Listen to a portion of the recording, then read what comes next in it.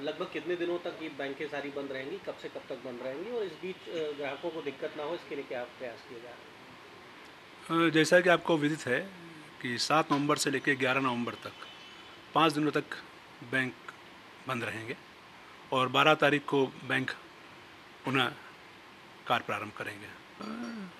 समस्त बैंक ये प्रयास कर रहे हैं कि एटीएम में पर्याप्त कैश उपलब्ध रहे। ताकि हमारे ग्राहकों को कोई भी असुविधा का सामना ना करना पड़े।